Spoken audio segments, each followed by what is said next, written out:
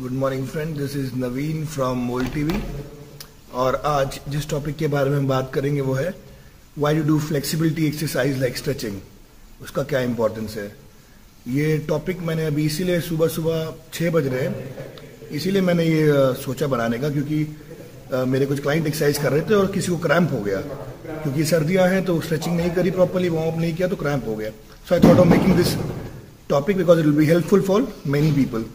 So what is flexibility? Flexibility is actually stretching your muscle through the full range of motion. Normal उसको flexibility बोलते stretching बहुत types की होती है active passive static and dynamic normal जो stretching होती है उसे हम स्टैटिक स्ट्रेचिंग कहते हैं और अपने जॉइंट को मूव मूव करना है शोल्डर मूव करना रिस्ट मूव करना है डायनेमिक स्ट्रेचिंग में आती है अब इसकी इंपॉर्टेंस क्या है बेसिकली uh, क्या होता है कि आप जब नॉर्मल कंडीशंस में होते हैं तो आपका जो ब्लड होता है 80 टू 85 परसेंट ऑफ़ ब्लड आपके ऑर्गन्स में होता है।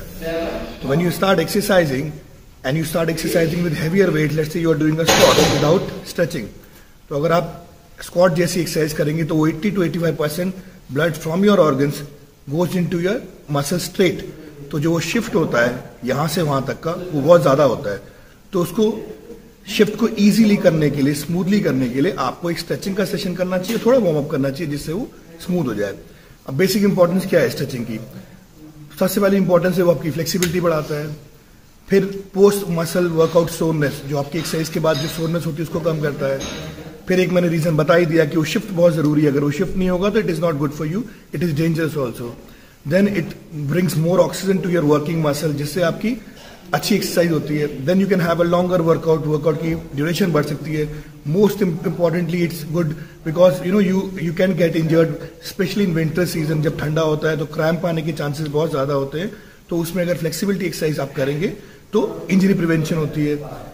और मसल बिल्डिंग की बात करें, अगर बॉडी बिल्डिंग की बात करें तो अगर आपकी मसल अगर आप एक बॉडी बिल्डर की बात करें, अगर वो ढंग से स्ट्रेचिंग नहीं कर रहा तो with over a period of time वो बड़ा स्टिफ हो जाती है उनकी body he loses the flexibility.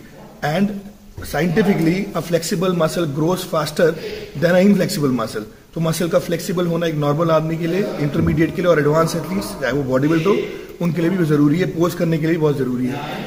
बहुत सारे मेथड्स आ चुके हैं पोजिंग के, जिससे फ्लेक्सिबिलिटी के, जिससे आपको बॉडी बिल्डिंग में भी हेल्प होती है। तो these were few of the reasons जो मैंने बताया आपको, जिस, आपको, जो आपको अपनी ट्रेनिंग में इनकॉपरेट करने चाहिए ताकि आपकी ट्रेनिंग की इंटेंसिटी बढ़ सके।